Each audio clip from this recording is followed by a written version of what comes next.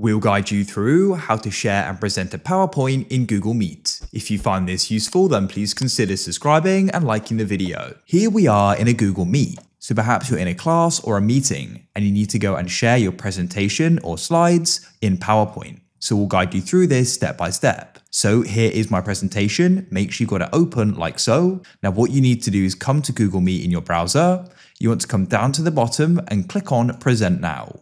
You'll go and get this pop up.